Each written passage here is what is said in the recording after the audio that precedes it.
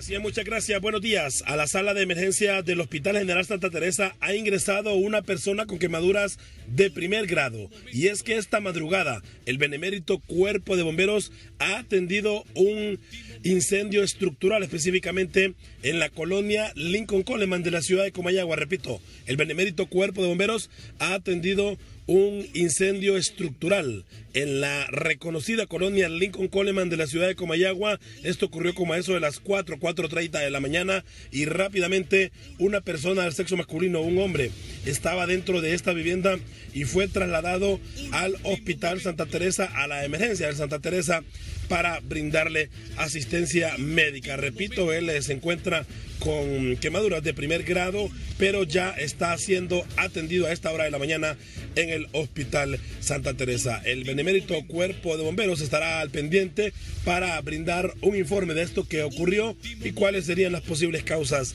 de este incendio estructural que dejó pérdidas totales en esta vivienda en horas de la madrugada.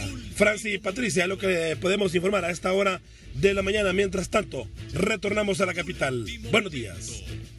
Buenos días, gracias Lenín. Nosotros continuamos.